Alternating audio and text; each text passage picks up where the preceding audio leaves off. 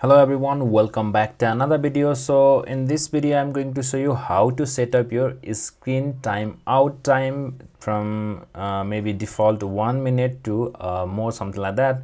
So whenever i just want this uh, display to remain for a long time so i don't want to you know hover into the uh, desktop to make it again and again.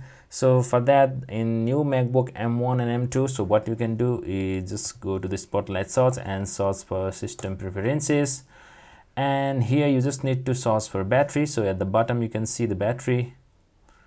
And just go into this battery here. And so you can see the turn display off after. So this is the default one. So you, you if you want to uh, make it uh, you know never or you know you can just set up according to your wish so this is how you uh, you know dis uh, make the uh, display um, timeout in your macbook m1 or m2 thank you so much for watching. If you like the video please be sure to like share and subscribe. I will see you in the next one